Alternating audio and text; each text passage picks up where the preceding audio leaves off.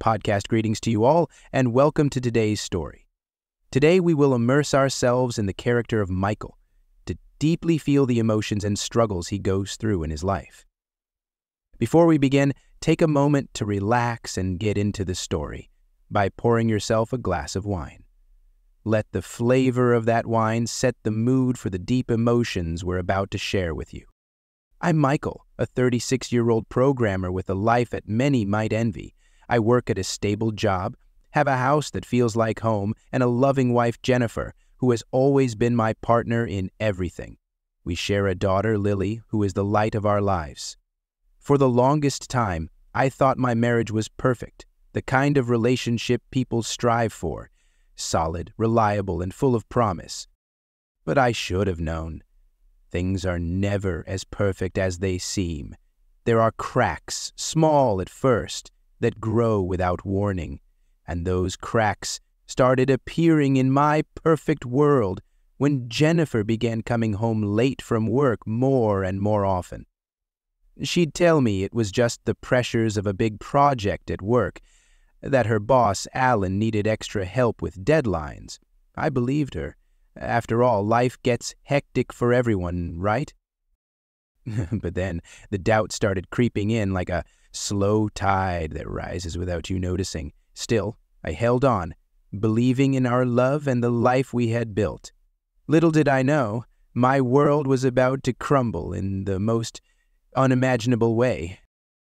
The first time I noticed something off was when Jennifer started staying late at work more frequently. At first, I didn't think much of it. She'd come home exhausted, telling me how her boss, Alan, had been piling on extra tasks and how deadlines were looming. I nodded, understanding. After all, we both had our fair share of work stress. But then it became a pattern. And not just a once in a while thing. Almost every week, she'd come home later than usual. The late nights didn't bother me at first, not really. But something inside me started to stir, a nagging feeling that I couldn't shake. It wasn't just the time, it was the way she would talk about Alan, her voice a little too enthusiastic, a little too rushed when she'd mention him. I tried to dismiss it, but each time she left for work, it felt like the distance between us grew just a little bit wider. I couldn't explain it, but I felt this knot forming in my stomach every time she stepped out the door. It was as if the space she left behind grew heavier.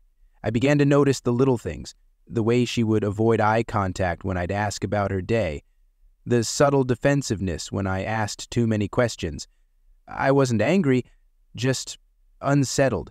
Something wasn't right, but I couldn't put my finger on it. Uh, it was that um, quiet unease that lingered like a shadow uh, and I couldn't tell if it was me overthinking or if there was something more. I never expected to find myself driving to Jennifer's office that day, but something inside me pushed me to do it. I wanted to surprise her, bring her a coffee, and see her smile. I figured maybe I was just being paranoid and a little gesture might clear my head. But when I walked into the building, everything felt wrong.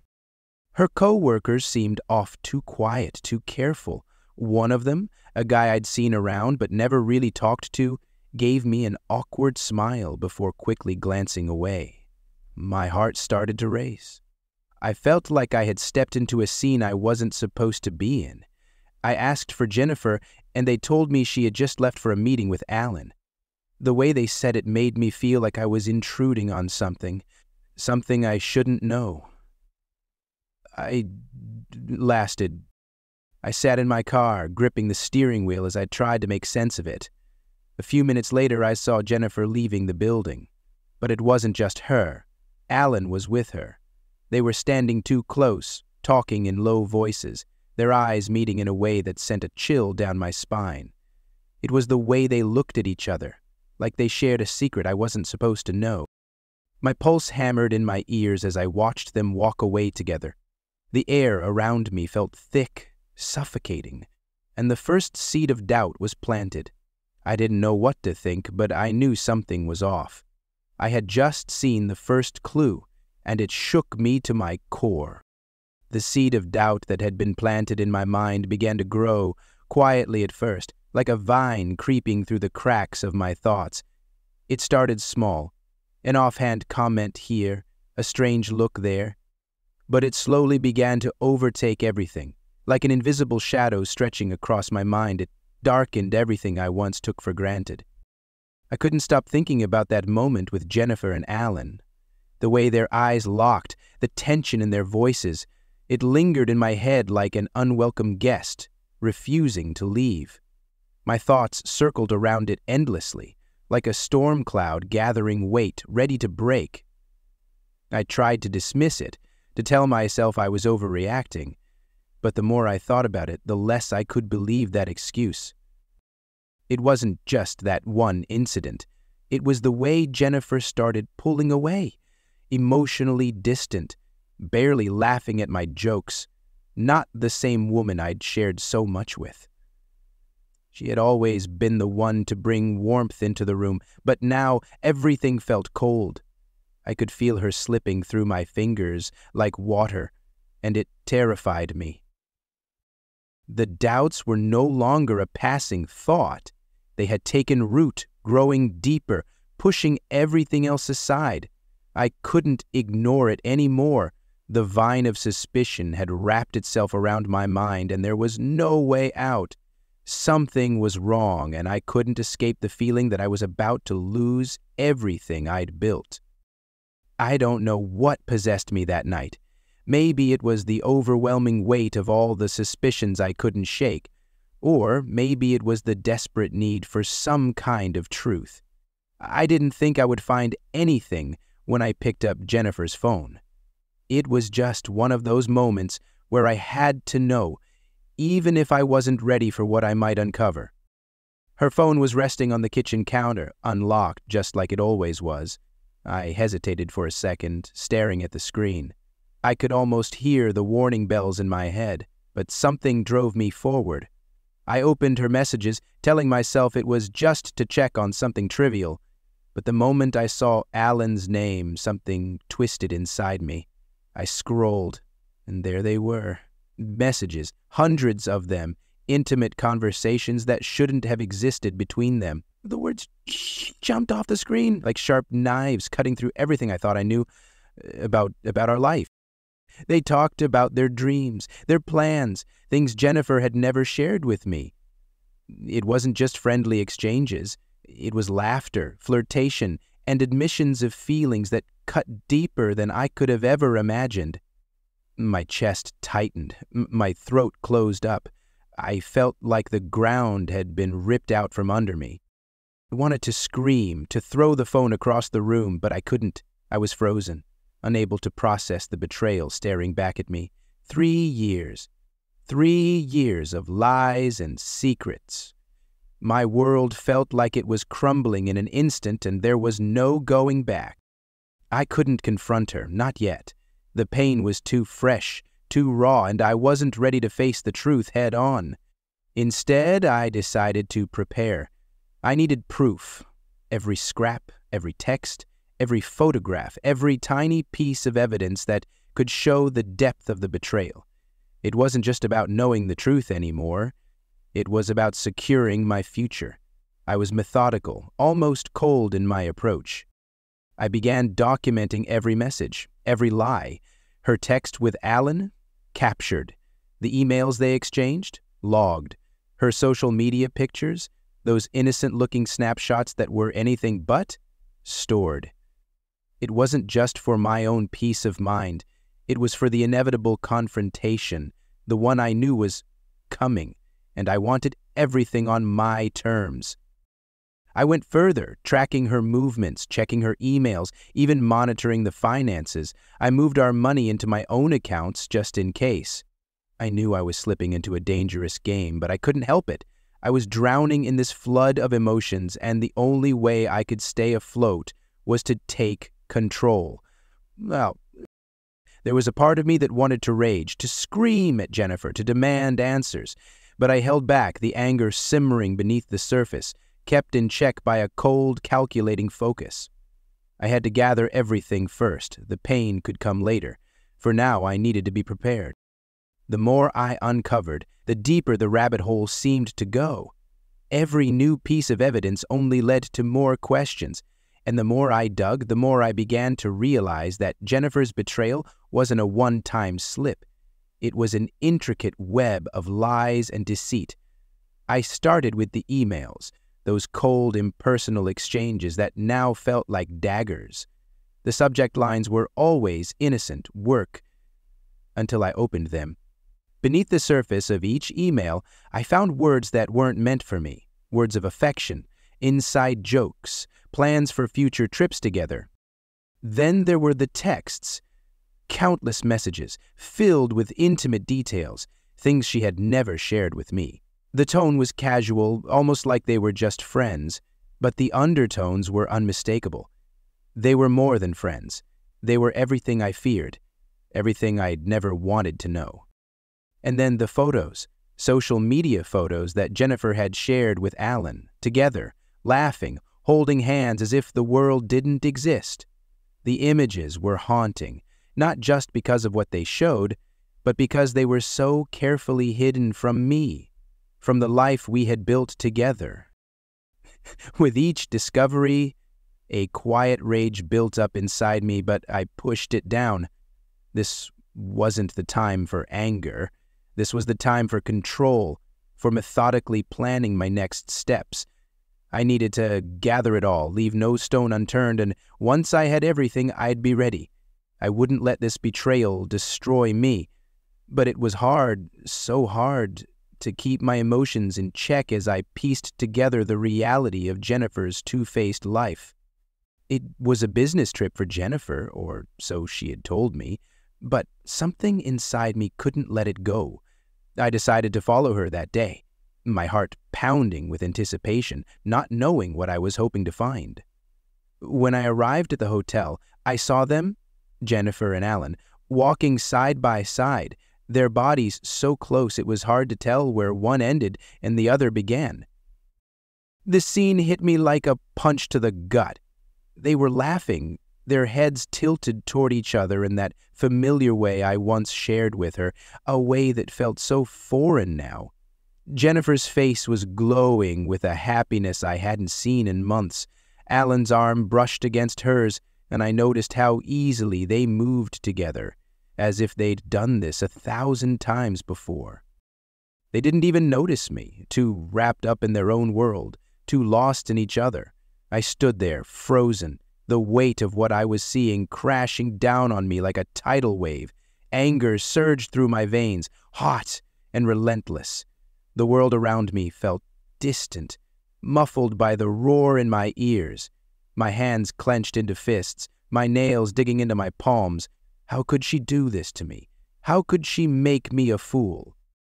I wanted to confront them right then and there, to tear them apart with words, but I held myself back. I couldn't let them see me like this. I had to stay calm. For now, I would watch them from the shadows, documenting everything. The image of them together, Jennifer, so carefree, so happy with him, would haunt me forever. When Jennifer came home that night, her eyes were downcast, almost too calm. She had changed into her comfortable clothes, but there was something off about her demeanor, as though she were bracing for something. She sat across from me, avoiding my gaze, and then, in the softest voice she could muster, she said, Michael, I think we both know this marriage isn't working, I just want us to end things amicably, for Lily's sake. I, I don't want to fight. Her words felt rehearsed, like she had practiced them a thousand times. The facade was too perfect, too controlled, but I knew better. Every part of me wanted to lash out, to tell her what I had discovered. Everything. But I held back, letting her speak. Don't forget to like, subscribe to the channel, and hit the notification bell so you don't miss any new updates. And if you find today's story interesting, leave a comment saying, wonderful. If you think the story could use more excitement, comment, needs more drama. I watched her carefully, the way she tried to seem so reasonable, so understanding. It was almost insulting. Did she think I was blind? That I wouldn't see through this? The way she twisted the truth, as if she were offering me a peaceful escape from the mess she had created, made my blood boil. She wasn't the one who had been wronged. I was. But there she was, trying to act as though she was the victim, trying to make this look like some mutual decision between us. Inside, I was torn. Every word she said felt like another stab in the back. But I stayed calm, giving nothing away. I knew the truth, and I wasn't about to let her manipulate me into feeling guilty. I agree, I said quietly, my voice steady. We'll handle this with respect. But don't think for a second that this is something we both want. Her face faltered for a split second, but she quickly masked it with a forced smile. The cracks in her act were becoming more obvious, and I couldn't help but feel a small sense of satisfaction. Uh, the night was quiet. Too quiet. As I sat at my desk, the soft glow of the screen reflecting in my eyes. This was the moment I had been dreading. The moment where there was no turning back. I methodically logged into our bank accounts, my fingers steady but my mind racing. I had spent hours the past few days organizing every detail, preparing for the worst case scenario. I couldn't afford to leave any openings, any chances for Jennifer to manipulate how in the hell shit it was First, I moved the bulk of our savings into an account under my name, careful to avoid any signs of tampering. I knew she'd check. She always did. But this time, I was ahead of her. Next, I canceled our joint credit cards, redirecting all recurring payments to accounts I controlled. It wasn't just about the money. It was about control. I had to be ready. If this divorce was coming, it would be on my terms. There was no room for mistakes. Every transaction, every shift in finances had to be calculated. I even backed up all the emails, texts, and documents I had gathered, storing them securely, knowing full well they would be crucial when the time came. This was my insurance, my shield against the chaos that was about to unfold. As I clicked through the last few transfers, I could feel the weight of the situation settling over me. This was it. This was the end of the life I thought I had. And I was preparing for the storm that would follow. The pain of betrayal lingered, but I shoved it aside. There was no time for weakness now. Michael, she started, her voice soft but hollow, a tone I had heard countless times before in moments of tension, but this time it felt empty. I know things haven't been easy, and I want to apologize. I never meant for things to get this far. The words were rehearsed, as if she had spent hours practicing them in front of the mirror. She looked at me, her eyes wide, but there was no real emotion behind them, only the appearance of regret the kind of regret that seemed to come more from being caught than from true remorse. I nodded, keeping my face neutral, forcing myself to stay calm. Inside, my heart was heavy, twisted with anger, but I wouldn't let her see it. Not now. Not yet. For a split second, I saw surprise flicker across her face. She hadn't expected me to be so composed, but she quickly covered it up, adjusting her posture, trying to make it seem like she was truly vulnerable, ready to make things right. The apology felt like a performance, an act to smooth things over. I wasn't buying it. I could see right through her.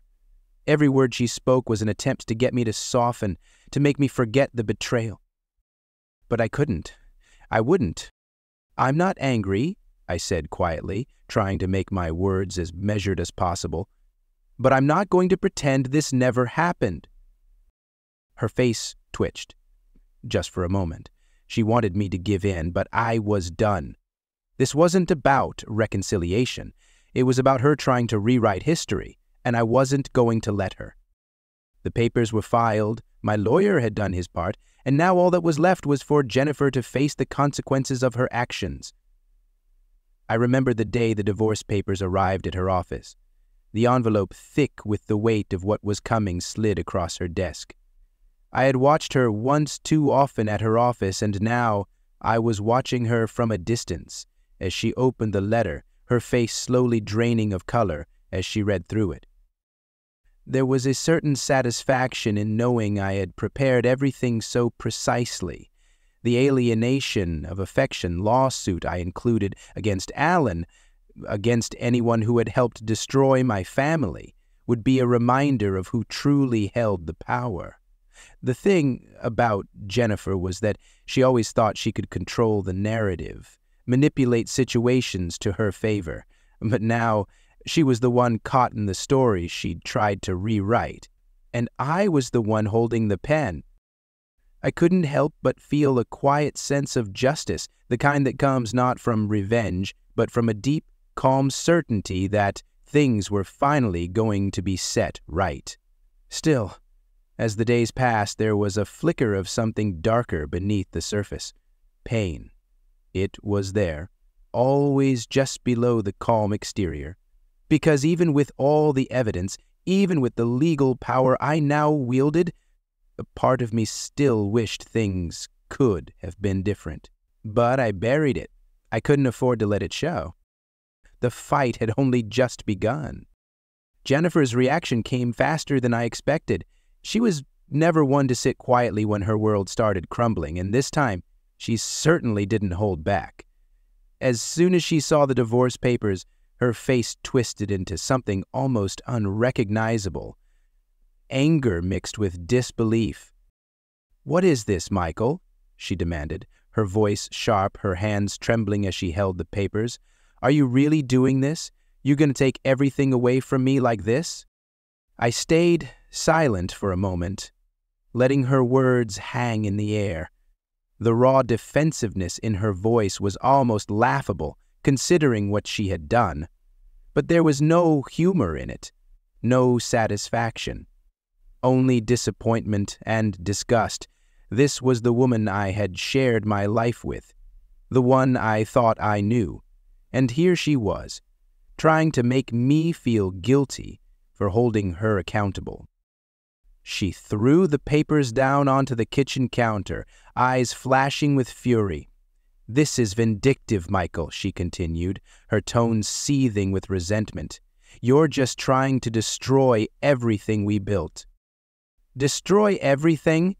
I repeated, my voice steady but cold. You destroyed it the moment you decided to lie, to betray me. Don't act like you're the victim here. Her eyes narrowed and for the first time in what felt like forever, I saw a flicker of fear in her gaze. But she quickly masked it, her pride refusing to let her back down. You're being petty. You're so focused on revenge that you don't see the damage you're causing. I shook my head, my chest tightening.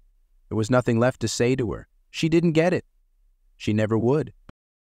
The consequences of Jennifer's actions didn't come all at once, but when they did, they hit harder than anything I could have imagined. It started with the whispers at work, rumors spreading like wildfire.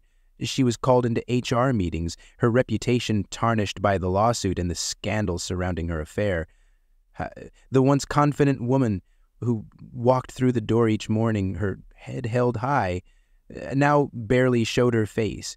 I could feel the change from miles away the subtle shift in the way she carried herself, as though the weight of her choices was finally crashing down on her.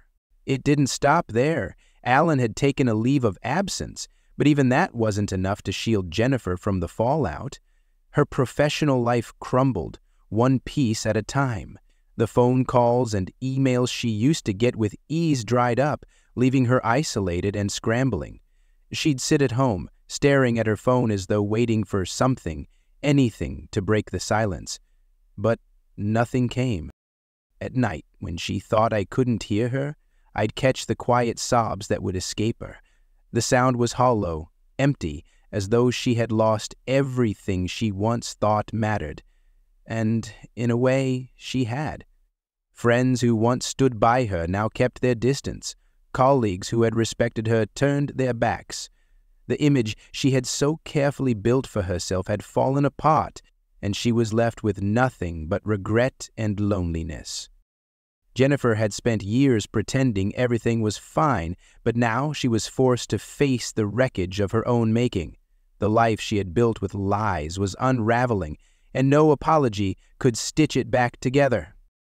Jennifer was no longer the woman who had walked into my life with confidence and promises of forever. What I saw now was someone barely holding it together, a shadow of herself, crumbling under the weight of everything she had done. Each day, the isolation became more pronounced. I'd watch her from the corner of my eye as she stared blankly out the window, lost in the world of her own making. The silence in the house more deafening than ever. One night she finally broke. She came to me, her eyes red from crying, and for the first time in months I saw the woman I had loved, the one who used to laugh and dream with me.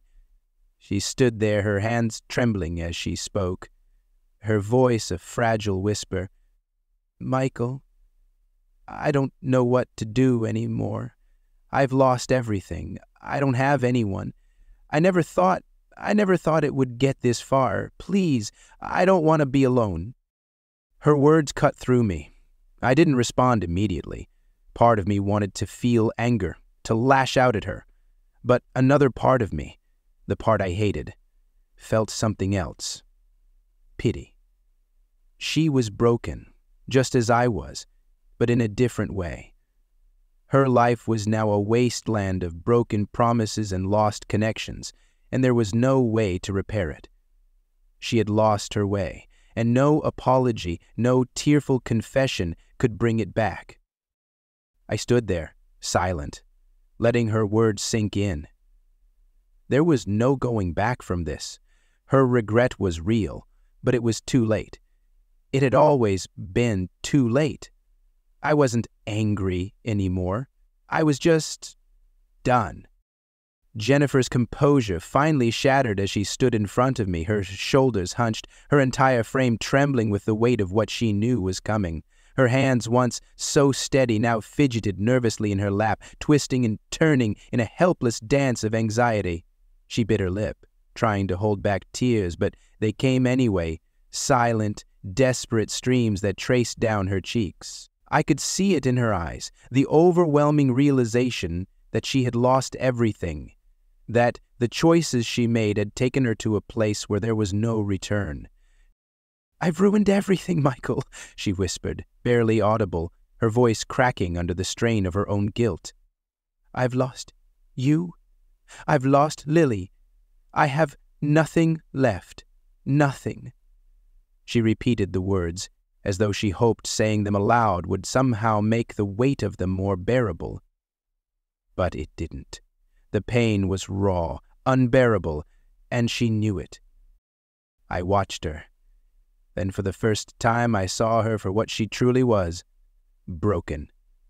The confident woman I once knew, the woman who had smiled and promised me the world, was now reduced to this. Her life, once filled with certainty and control, was now slipping through her fingers like sand. She had built her world on lies, and now it was collapsing, leaving nothing but ashes behind. Her sobs were quiet but relentless, each one a sharp reminder of how far she had fallen. I didn't know what to say. I didn't know if there was anything to say. All I could do was watch as she collapsed in on herself, the weight of her mistakes sinking deeper with every breath. Jennifer tried once more to soften the blow, her voice trembling with false sincerity. Michael, please, she pleaded. I never meant for any of this to happen. I was confused, and I thought, I thought I could fix it, but now I see how much I've hurt you. Can't we just end this quietly? For Lily's sake. Please, just let me go with some dignity.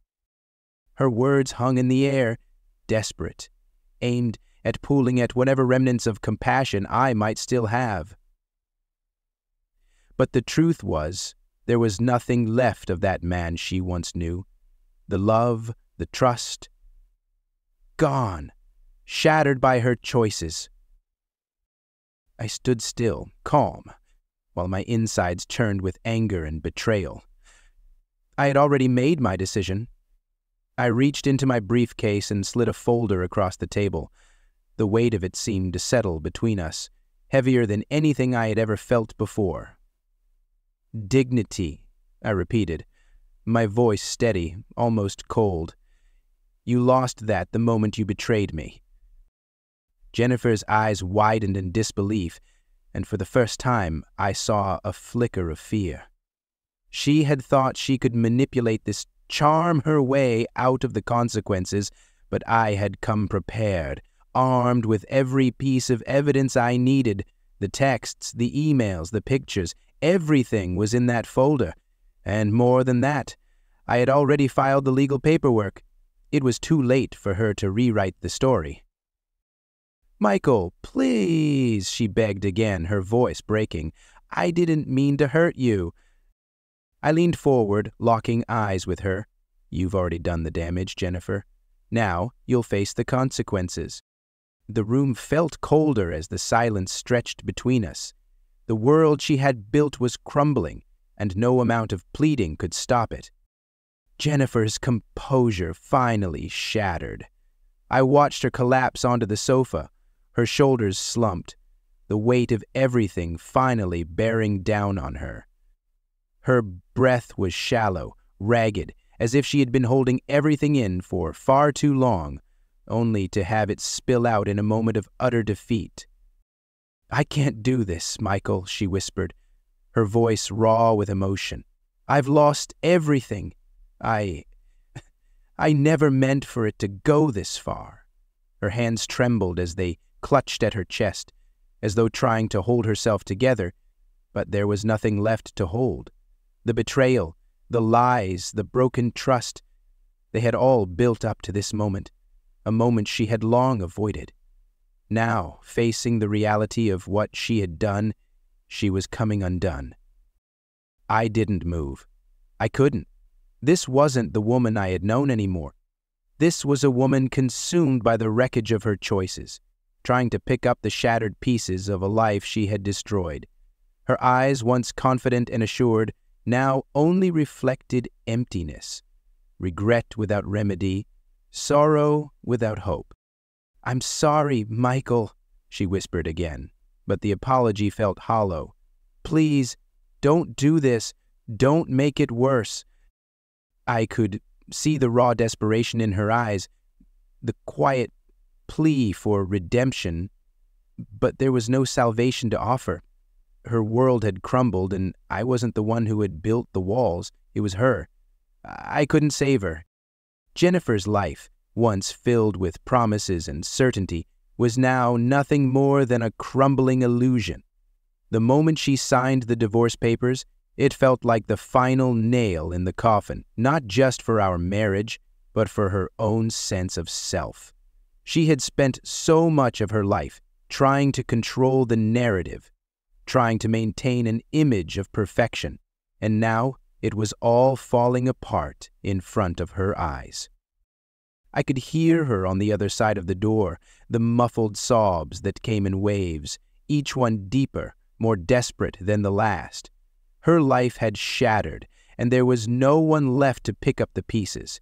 She had burned every bridge, and now the flames were consuming her entirely. I felt a twisted sense of relief, knowing that I had done everything I could to protect myself and Lily from the destruction she had caused. But there was no joy in it. Watching Jennifer unravel, losing everything she once held dear, felt like witnessing the slow death of a person I had once loved. I couldn't help but feel sorrow for her, though I knew it was a sorrow she had earned. She had chosen this path, one filled with lies and betrayal, and now she was reaping what she had sown. There was no going back from this, no way to undo the damage. As the days passed, the woman I had once known slipped further into the shadows, a shell of her former self. The wreckage of our life together was complete, and there was nothing left to salvage. Jennifer sat in the living room, her once comfortable space now a silent witness to the collapse of everything she had known. The room that had once echoed with laughter and warmth now felt empty, almost suffocating, as if the very walls were closing in on her. She waited, her eyes puffy and red, her hands trembling in her lap as if she were bracing herself for something inevitable.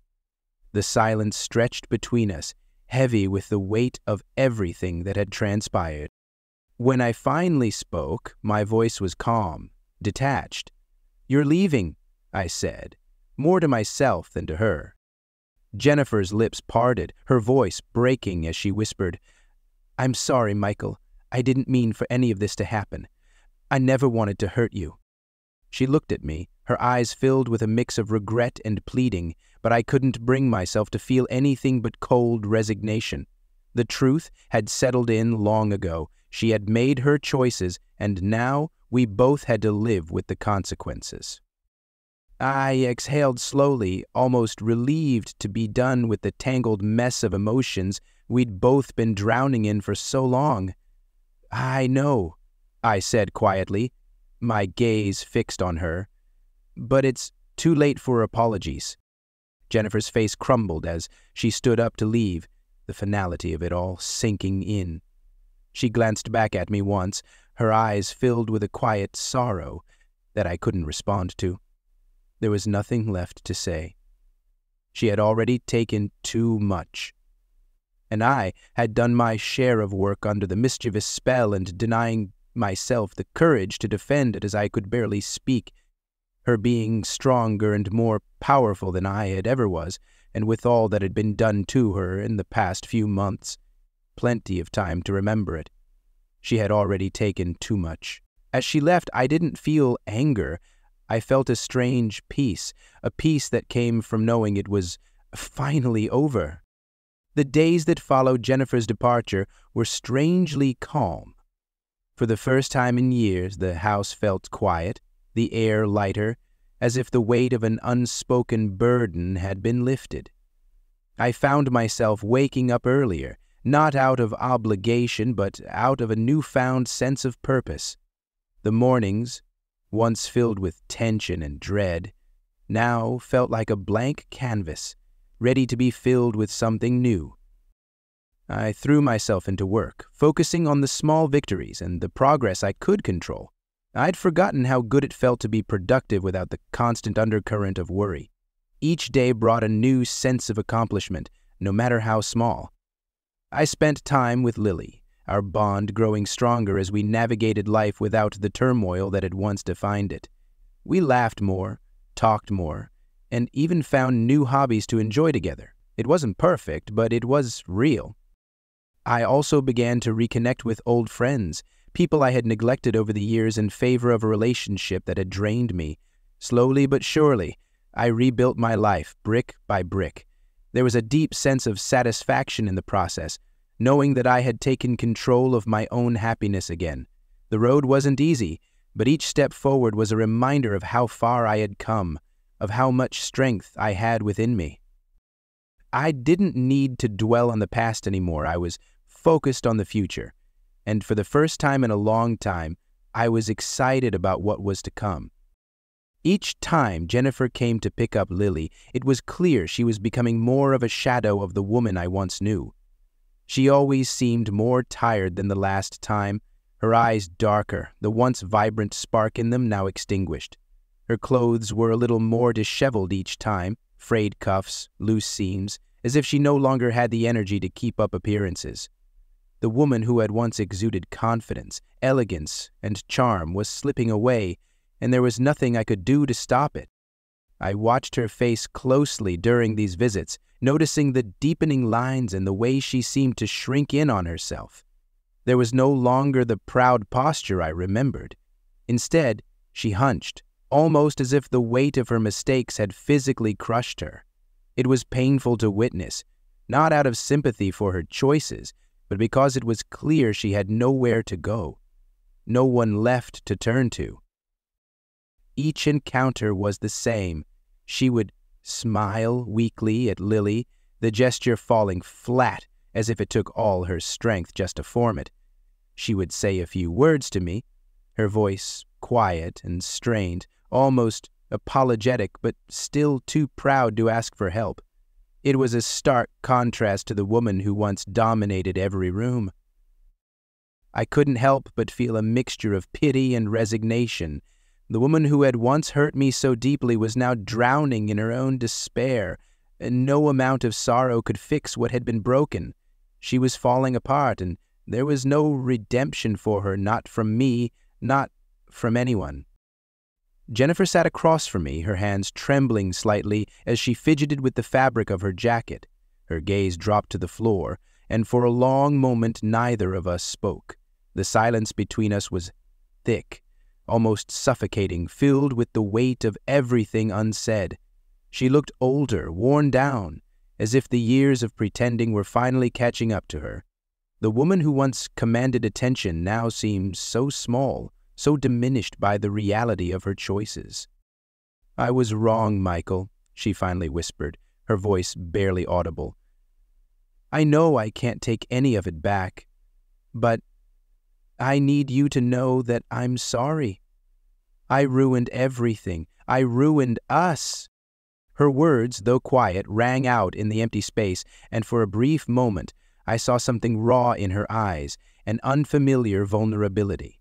The regret in her voice was palpable, suffocating even, as if she could feel the full weight of her mistakes in every breath she took. She took a shaky breath and looked at me, her face drawn with pain. I never thought it would end like this. I never thought I would lose everything. The tremor in her voice betrayed the depth of her sorrow. There was no anger in her any more, only the crushing burden of realizing that the life she once had was gone. The words, though they were laced with regret, felt hollow. I could see the desperation in her eyes, but nothing could fix the destruction she had caused. I didn't say anything right away. There was nothing left to say. The damage was done, and the woman who once held my heart was now a stranger, begging for forgiveness that I couldn't give. The days without Jennifer felt strangely quiet, almost peaceful. At first, there was a heaviness in the air, the kind of silence that seemed to stretch on forever. But slowly, that silence began to change. It became a comfort, a space where I could finally breathe again without the constant weight of her betrayal hanging over me. I found myself waking up earlier, feeling a sense of clarity I hadn't experienced in years. There were no more lies to uncover, no more games to play, no more constant wondering whether I was being deceived. The absence of her presence in my life was a relief, even though it had come at such a high cost. But as time passed, I started to realize something. I had been suffocating in the chaos of our relationship, and now I was free. Lily and I began to build our own routine, one that was free from the tension and sadness that had defined our days together. We spent weekends doing things we loved, without the nagging feeling of pretending for the sake of keeping up appearances. There was an ease to our life now, a peace that felt earned, though bittersweet. I no longer found myself looking over my shoulder, wondering what Jennifer was doing, or if she would somehow return to disrupt the fragile peace I had built. Life without her was exactly what I needed, and for the first time in a long while, I felt like I was moving forward, not just surviving, but living again. The call from Emily came unexpectedly, shattering the stillness of my day. Uh, her voice was strained, thick with, with emotion. Michael, it's Jennifer. She's really sick, and she wants to see you. And I don't think she has much time left. I didn't know what to feel. A part of me recoiled at the thought of seeing her again after everything that had happened. The bitterness, the anger, it was all still there, buried deep. But there was also something else, something I couldn't ignore a small flicker of compassion, maybe even pity, for the woman she had become. When I arrived at her apartment, the contrast was jarring. The woman who had once stood so tall, so sure of herself, now seemed small and frail. Her clothes hung loosely on her, as if she had lost weight too quickly, and her face, once so full of life, now appeared gaunt, lined with exhaustion. She was no longer the person I had once loved, but someone entirely different, a mere shadow of that woman. She looked up when I entered, her eyes filled with a mixture of guilt and regret. I didn't want it to end like this, she whispered, her voice barely audible. I never thought I'd be here, like this, alone. Her words hit me harder than I expected. The woman who had destroyed so much now sat before me, vulnerable and broken. As I sat down beside her, the flood of memories hit me. The good times we shared, the love that had once felt so real. It all seemed so far away now. But as I looked at her, I didn't feel anger. I felt something else resignation. This was the end of her story. And for the first time, I realized that I could finally move on. I had forgiven her, not for her sake, but for mine. There was peace in that, in knowing I no longer had to carry the weight of the past. This was the final chapter, and it was time to close the book. When I walked into the small cafe, Jennifer was sitting by the window, her posture slumped, looking almost like a shadow of her former self. Time had not been kind to her. Her once radiant face now held a weariness I hadn't expected. Her eyes, dull and tired, flickered with recognition as I approached, but there was a hesitation there, a nervousness that hadn't been present before. I took the seat across from her, feeling an awkward silence settle between us. The years of separation, the anger, the betrayal, all of it hung in the air, thick and suffocating. She wasn't the confident woman I had once loved, but a broken version, unsure of herself, trapped in the aftermath of her own choices. Michael, she began, her voice soft, almost tentative. I never imagined we'd be here, talking like this, after everything. She paused, her gaze lowering. I know I can never fix what I did, but I need you to know that I'm sorry. I'm so sorry for everything. Her words felt heavy, but not in the way I thought they would. I didn't feel rage or resentment. What I felt instead was a deep sense of quiet sorrow. I, I had forgiven her long ago, not for her, but for me. I know, I said, my voice steady, calm. I- I've moved on, Jennifer. You should too. She nodded, her eyes brimming with tears, a final surrender to the reality she had created for herself. In that moment, I realized something. I wasn't angry anymore. I was free. Jennifer's voice broke through the silence, raw and fragile. Michael, she whispered, her hands trembling as she looked at me. I've spent so much time regretting everything. I wish I could go back, make different choices. I didn't realize what I had until it was gone. Her words felt almost like a plea, but they carried an emptiness, like a person trying to fix a shattered mirror with words, knowing full well it couldn't be done. She swallowed hard, wiping her eyes with the back of her hand. I'm not asking for your forgiveness, I don't deserve it, but I need you to know that I'm truly sorry for the pain I caused, for everything. I sat there, staring at her feeling a strange weight settle in my chest. The pain that once consumed me seemed distant now, replaced by something quieter, something more complex. There was no anger, no resentment, just a quiet understanding of what had happened and a realization that she wasn't the same woman who had walked away from me all those years ago. I sighed, leaning back in my chair, you can't change the past, Jennifer, but you don't have to carry it with you anymore. I've let it go. Her lips trembled, and she nodded slowly as if she had already known that answer. Uh, but hearing it aloud made it final. I just wanted you to know, she said, her voice barely audible, that I'm sorry. I, I truly am. In that moment, I realized I wasn't holding on to the past anymore. I had moved on, and her apology, though heartfelt, was just a part of the closure I'd already found.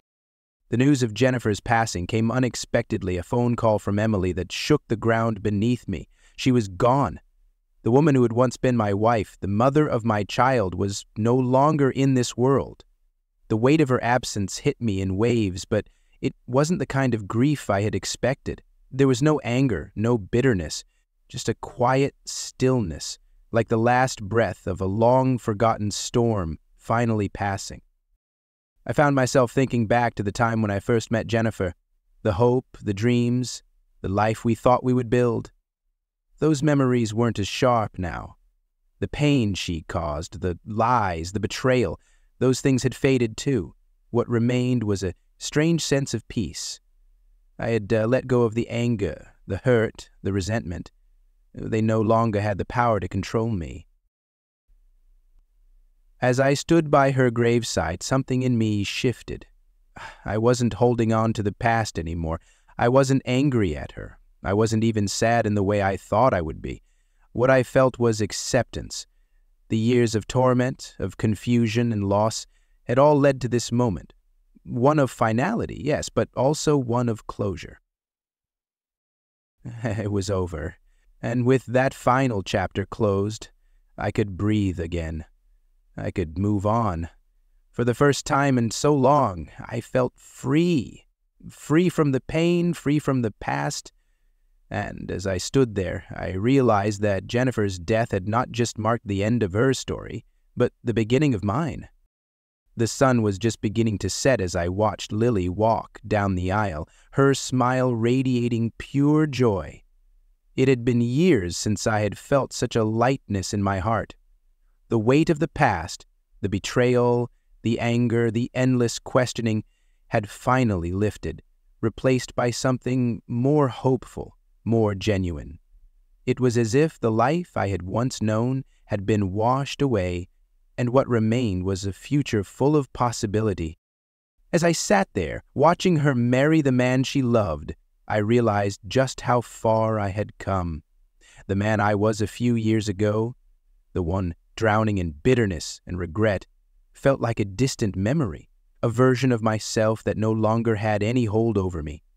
The peace I had fought for, the stability I had craved, was finally here. It wasn't just the absence of pain. It was the presence of something much better freedom, joy, and the quiet confidence that I was exactly where I was supposed to be. Looking around at the faces of the people who mattered most, my daughter, the friends who had stuck by me, the new relationships I had nurtured, I felt a profound sense of gratitude.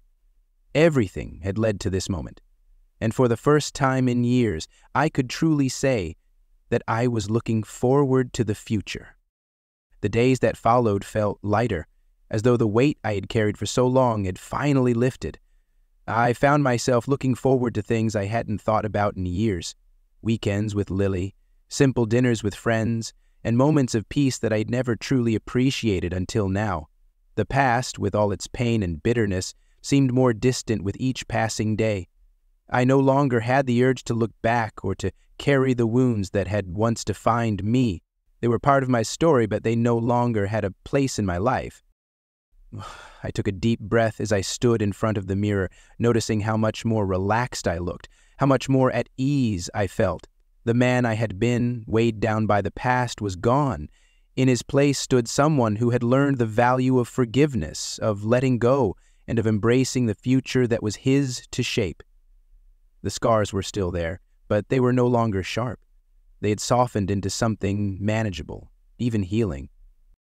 Looking out the window, I realized just how much had changed. It wasn't just the absence of pain. It was the presence of hope. Life was moving forward, and I was moving with it. I was free to embrace the future, not with fear, but with quiet anticipation. For the first time in years, I felt ready to embrace whatever came next, because I knew that, whatever it was, I was no longer defined by the mistakes of the past. The phone rang late one evening, and when I picked it up, I immediately recognized Emily's voice, though it was softer than usual, laced with hesitation. Michael, it's about Jennifer, she started, her words slow, as if she were trying to find the right way to say something unbearable. She's. she's very sick. I don't know how much time she has left, but she wants to see you. She needs to talk to you one last time. I felt a strange heaviness settle in my chest as the words sank in. I wasn't prepared for this, hadn't expected it at all. The image of Jennifer, vibrant and full of life, seemed so far removed from the woman Emily was describing. I paused, trying to steady myself before I spoke. I don't know if I'm the right person for this, uh, Emily. There was a long pause on the other end of the line. I could almost hear Emily's quiet struggle as she fought to find the words. She doesn't have anyone else. Please, Michael, for closure, for both of you. Her plea was gentle, but it carried weight. My thoughts drifted back to the years we spent together the memories of a life once shared, now tainted by so much loss. There was a part of me that felt compelled to go, to offer whatever peace I could, even after everything. But there was also a reluctance, a part of me that wanted to keep the past buried, untouched. I'll come, I said finally, my voice tight. I didn't know what I'd find or what I could offer, but I knew it was the right thing to do. For her. For me. As I stood by her bedside, the room felt heavy, filled with a silence that was almost suffocating. Jennifer, once so full of life and energy, now appeared fragile, her skin pale and drawn, her body too weak to hold the strength it once had. The years had not been kind to her. What was left was a shell of the woman I had known. But, even in her weakness, there was a quiet dignity in her eyes. The eyes that once held so many emotions now carried only regret. She reached out, her hand trembling slightly, and I took it, feeling the coldness of her skin. Her voice was barely a whisper as she spoke, each word weighed down with a lifetime of unspoken pain. I'm sorry, Michael she said, her eyes brimming with tears. I've made so many mistakes. I never meant for things to end this way. I never wanted to hurt you. I stood there, feeling the weight of the moment settle over me. Her words were soft, but they held an honesty that I had never seen in her before. There was no need to say anything in return. The anger, the hurt, the bitterness, all of it had faded. I had forgiven her long ago, but now, with her so vulnerable, I finally understood the depth of her sorrow. You don't need to apologize any more, I said quietly, my voice steady but calm. You've done enough. Now it's time for you to find peace. Her tears fell, but there was a sense of relief in her face, a silent acknowledgement that the burden she had carried for so long was finally being put to rest and as I turned to leave, I realized that I, too, was free. Free from the past, free from the weight of old wounds. As I walked away from the hospital, a light rain began to fall, the soft patter of the droplets on the pavement adding to the quiet stillness of the moment. The air was cool, refreshing, almost cleansing. I could feel the coldness of the rain on my face, but it wasn't uncomfortable. Rather, it felt like a symbol of something much deeper, a kind of release. With each step, I felt a little lighter, a little freer from the years of anger and resentment that had weighed me down. The past, with all its pain, betrayal, and heartbreak, seemed to fade into the distance, becoming a part of me that no longer held any power over my life. It was a chapter that had ended, and though it was a painful one, I could now see it for what it was a lesson, a part of my journey. When I stood there, watching the rain gently wash away the remnants of the day, I realized just how far I had come. I had let go of the past, let go of the pain, and in its place there was something better peace, clarity, and the promise of a brighter future. I had done what I needed to do, and now, with Lily by my side, I could move forward. I didn't know what the future would bring, but for the first time in years I was ready for it. There was no more fear, no more holding on to what was lost, only the quiet, comforting knowledge that I was finally free. Thank you all for listening to today's story. Michael's journey is not just about betrayal and pain, but also about rediscovering himself, overcoming the hurt, and moving toward a hopeful future. Life always challenges us, but from the wreckage, we learn to rise, stronger and wiser. This story serves as a reminder that even in the face of difficulties, we can always find the light at the end of the tunnel. Once again, thank you for spending your time and emotions with us. See me in the next story where deep emotions and life lessons will continue to be shared. Wishing you all a wonderful day.